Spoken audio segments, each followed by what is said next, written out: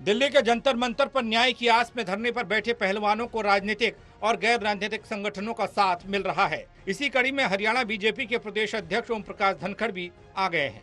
उन्होंने कहा कि हरियाणा के लोगों की भावना खिलाड़ियों के साथ है और हम सब खिलाड़ियों के पक्ष में हैं।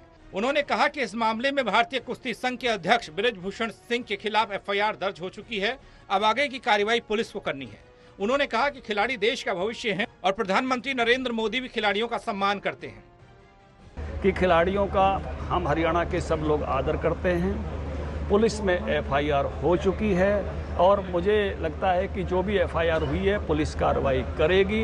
हरियाणा के लोगों की सिपरिट भावना हम सब की खिलाड़ियों के साथ है। वो आज अखबारों ने भी मेरी बात को बहुत प्रमुखता के साथ छापा है। प्रधानमंत्री कह रहे हैं कि मन की बात तो होती है खिलाड़ी के साथ में कह रहे हैं कि प्रधानमंत्री ने लड़कियों के लिए भी के पास भी आना चाहिए उनकी भी मन की बात यानी। कहा ना सबकी मन की बात सुन रहे हैं वो सबकी मन की बात के साथ आगे बढ़ रहे हैं वो देश के मन की बात करते हैं।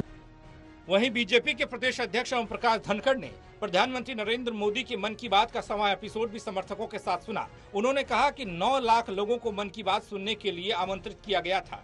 हरियाणा में 9,631 जगह पर मन की बात सुनने का कार्यक्रम रखा गया और 9 लाख लोगों को निमंत्रण दिया गया।